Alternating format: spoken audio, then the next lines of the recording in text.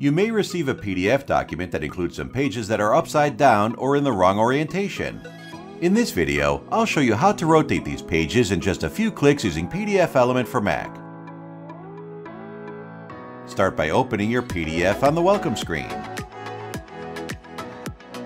Now navigate to the right-hand toolbar and select Organize Pages. Choose one of the pages that needs to be rotated and then click the Rotate Pages icon in the left-hand toolbar to rotate it.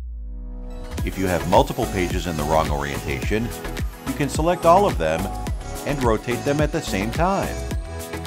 If you found this tutorial helpful, please don't forget to like the video and subscribe to our channel. Click the link in the description to try out PDFelement for free today. Plus, check out the rest of my videos for other useful ways to improve your daily routine working with PDFs. Thanks, and see you next time!